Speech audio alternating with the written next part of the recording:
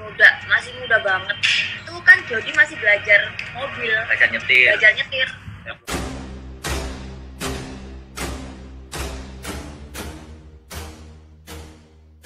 Terungkap fakta baru, Tubagus Jody, sopir Vanessa Angel ternyata belum lama bisa nyetir.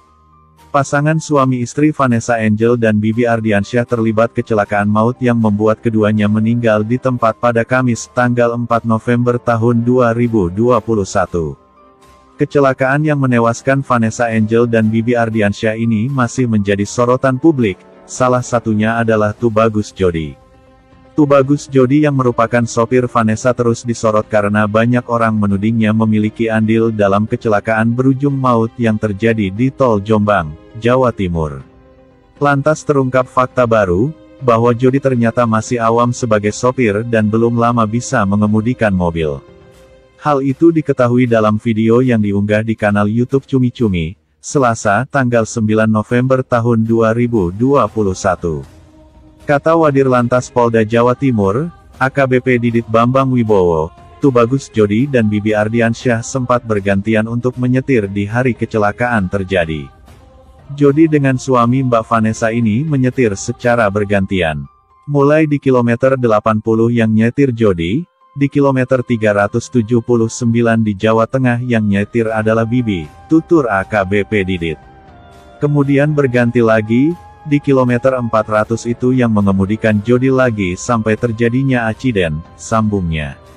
Sementara menurut pengakuan pasangan Crazy Rihmalang, Gilang dan Sandi, Jody baru belajar menyetir saat bertemu dengan mereka.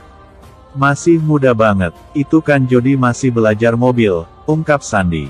Belajar nyetir, Februari tahun 2021, Gilang menimpali.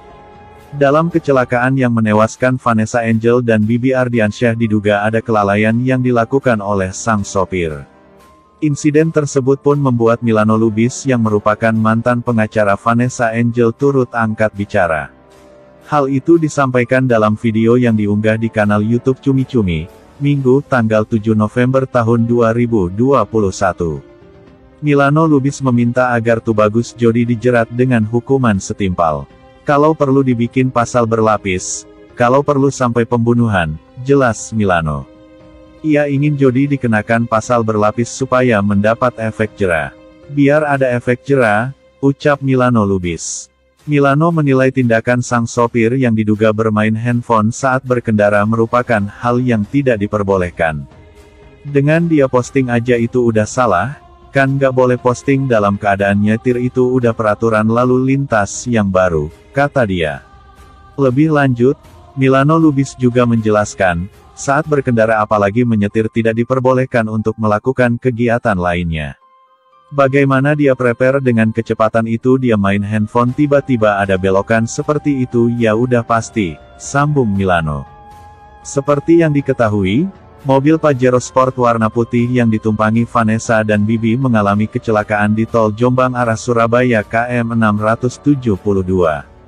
Akibat kecelakaan ini, Vanessa Angel dan Bibi Ardiansyah langsung tewas seketika di lokasi kejadian.